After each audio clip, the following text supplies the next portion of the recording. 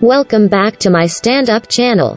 The Duke and Duchess of Cambridge are on the charm offensive to prove to the Duke and Duchess of Sussex that they're happy and not trapped. A royal expert has claimed. Prince Harry, 36, who revealed yesterday he is releasing a tell-all memoir, sensationally claimed earlier this year that his brother Prince William, 39, and his father Prince Charles are trapped in the system of the British monarchy during a bombshell interview with Oprah Winfrey.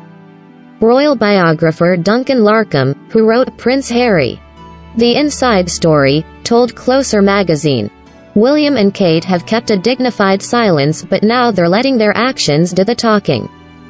It's almost as if they're sending a secret message to Harry and Meghan saying, We're going to keep going, we're still here, we're not backing down, we're carrying on. It's a message to Harry that life continues, with or without him.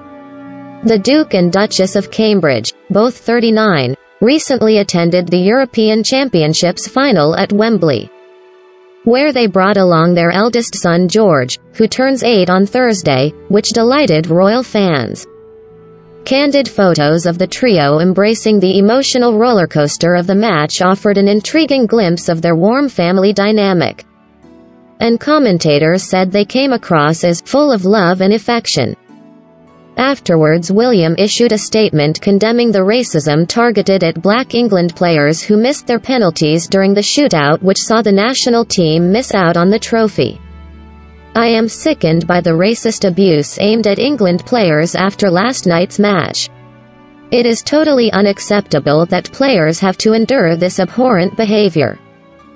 It must stop now and all those involved should be held accountable, he wrote on Twitter, winning praise from fellow social media users. And earlier this month, the pair were spotted giggling and smiling as they stepped out to watch Wimbledon together. William and Kate are definitely on the charm offensive right now, and it's working, Duncan told Closer. He called the Duke's statement about racism in football really powerful. Adding that there is, no doubt, William and Kate have taken Harry's allegation that his brother is trapped in a role he doesn't want and are determined to show that isn't the case. He suggested the Duchess in particular had appeared, all smiles, on recent engagements to show Harry and Meghan she is happy and fun. Meanwhile royal expert Katie Nicholl told the publication that the Cambridges have solidified themselves as the nation's sweethearts more than ever recently, in a quiet, dignified way. They've upped their game, she added. During the explosive interview in March, Prince Harry, who is sixth in line to the throne, told the American chat show host, I myself was trapped. I didn't see a way out. I was trapped but I didn't know I was trapped. Asked what he meant, Prince Harry replied, trapped within the system, like the rest of my family are. My father and my brother. They are trapped. They don't get to leave. Prince Charles, the Queen's son, is next in line to the throne, while Prince William is second in the line of succession. Royal sources later claimed that Prince William does not believe he is trapped inside the system of the British monarchy and Prince Harry's suggestions that he is are way off the mark.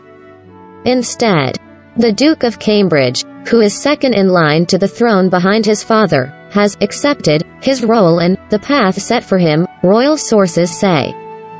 Meanwhile royal author Penny Junor claimed Prince William as modeling himself on his grandmother the Queen.